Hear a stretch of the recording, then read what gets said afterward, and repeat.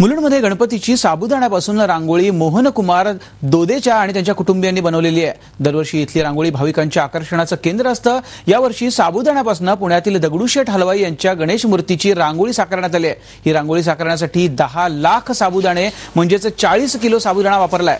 ही मनमोहक रांगोळी साकारण्यासाठी एका महिन्याचा कालावधी लागणार असून पंधरा सप्टेंबरला ही रांगोळी पूर्ण होणार आहे.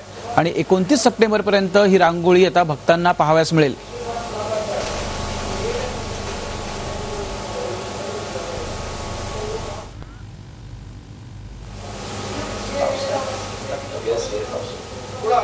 विघ्नार्थ गणेशाची आराधना प्रत्येकजण आपापल्या परीने करत असतो. मुलुंडमध्ये मोहन कुमार जे आहेत ते सुद्धा रांगोळी काढतायत. ती साबुदाण्याची रांगोळी आहे. जवळजवळ त्रेपन्न वर्षापासून ही साबुदाण्याची रांगोळी काढतायत. मागच्या वर्षी त्यांनी लालबागच्या राजाची ही रांगोळी काढली होती आणि हजारो भाविकांनी त्या रांगोळी बघण्यासाठी गर्दी केली होती. त्याचबरोबर यावेळेला पुण्यातील दगडूशेठ हलवाई गणेशाची त्यांनी रांगोळी काढलेली आहे. जवळजवळ बारा तास ते इथे त्यांच्याबरोबर त्यांचे कुटुंबीय सुद्धा हे रांगोळी बनवण्यासाठी इथे मेहनत करतायत. त्याचबरोबर या रांगोळीसाठी चाळीस किलो साबुदाणा सुद्धा वापरल्या वापरलेला आहे आणि लवकरच ही ही जी रांगोळी आहे ती भाविकांना पाहण्यासाठी मिळणार आहे.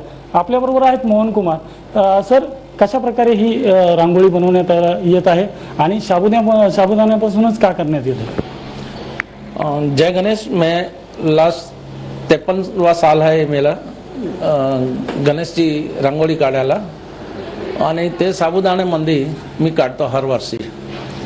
आणि जे साबुदाणे आहेत त्याच्यामध्ये जे मला कलर हवे ते कलर मी करू शकता ते पोस्टर कलर मी यूज करतात. आणि ह्या टाईममध्ये पुण्याचे जे दगडूशेठ हलवाईचे आहे त्याची प्रतिकृती मी घेतलेली आहे. आणि रांगोळीची जे माझी साईज आहे ते सात फीट बाय साडेसात फीटची आहे.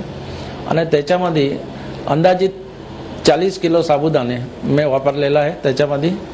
आणि वेगवेगळे जो कलर जे कलर सेट्स आहे ते टू फिफ्टी सेट्सपर्यंत मी त्याच्यामध्ये यूज केलेला आहे. मात्र यावर्षी जेव्हा रांगोळी बनवताना किती किती तास लाग लागणार आहेत तुम्हाला हे बनवण्यासाठी? करीबन मला ते बनवायला एक महिना लागते. आणि पंधरा ते अठरा तास मी त्याच्यावर काम करतो. माझ्या संबंधी ते कुटुंबीय आहे. ते पण त्याच्यामध्ये मला हेल्प करते. हे होते मोहन कुमार. आपण बघू शकतो की मुलुंडमधील ही साबुदाण्याची जी रांगोळी आहे ती मुलुंडमधल्या काय बाहेरच्या लोकांचं सुद्धा आकर्षणचं केंद्र असतं. मात्र मुलुंडच्या किंवा बाहेरच्या लोकांना ही पंधरा ते एकोणतीस सप्टेंबरपर्यंत ही नागरिकांना पाहण्यासाठी मिळणार आहे. ठाण्याहून cameraman Santosh sir Ravi Sapate T V nine. तर लाडक्या बाप्पाच्या आगमनाची उत्सुकता संपूर्ण